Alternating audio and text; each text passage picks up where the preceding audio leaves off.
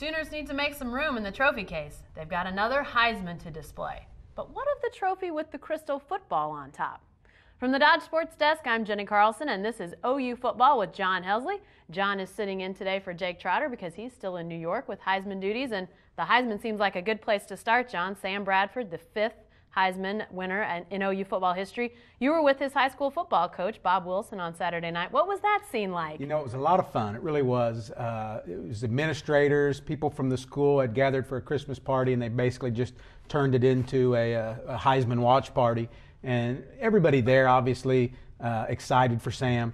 Uh, Bob Wilson was really nervous, you know, which you wouldn't think of with a, with a football coach who's been in a lot of big games, but he sat there fidgeting. And when the announcement finally came, he kind of jumped out of his chair and, you know, kind of made a little bit of a jump around the room. And uh, it was pretty cool being there.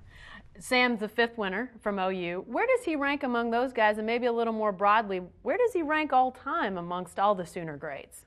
Well, you know, ranking him among the five is a little tricky right now. Obviously, he's done everything you can possibly ask a quarterback to do, a leader to do so far. If he would go ahead and finish this season off with a, with a national championship, I think it really boosts him right up there to the top. Um, and if he comes back for another year, I think he's got a, a chance to be one of the all-time greats. And I mean, I mean, obviously, you're talking about a lot of great players in OU's history. I think he's got a chance to be right up there in the top two or three. I think some Sooner fans may be a little worried about this Heisman jinx thing. Some guys that have won it recently have gone to national championship games and not won.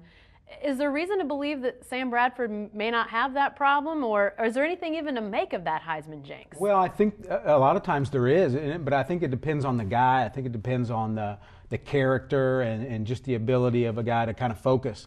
Um, I wouldn't really worry about a lot of that with Sam. I think he's a guy that's very well grounded. I think he'll get over this portion and move on and enjoy the Heisman down the road. Let's talk a little bit about Florida because they're the team that stands between Sam Bradford and all the Sooners in a national championship.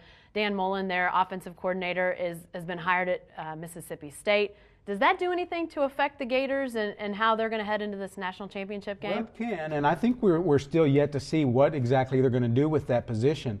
Um, you know, it didn't hurt West Virginia last year. They basically lost their offensive coordinator, Rich Rodriguez. But we've seen it hurt other teams. We've seen it hurt Oklahoma in the past when they've lost Mike Stoops. So mm-hmm. it'll be interesting to see how this plays out and, and, and who really is in charge of the offense. Well, what about the Sooners and their coaching situation? They haven't lost anybody yet, but there's been some rumors of Kevin Wilson maybe being out there, Venables, obviously.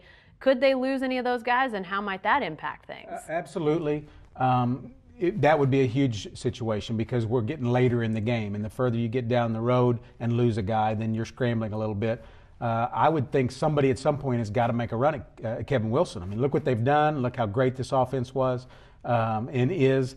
Uh, if not this year, I think definitely next year he's on the he's on the top of the hot list. Gene Chizik leaves Iowa State to be Auburn's new head coach. Is Iowa State a possibility for Kevin Wilson? Could be. Um, I know he was at least partially in play last time. I would think uh, they would they would have to look at a guy like Kevin Wilson. Offense has not been good at Iowa State the last few years. They may want to go in that direction uh, it'd be interesting to see. Definitely. Well, John, hey, thanks for pinch hitting for Jake today.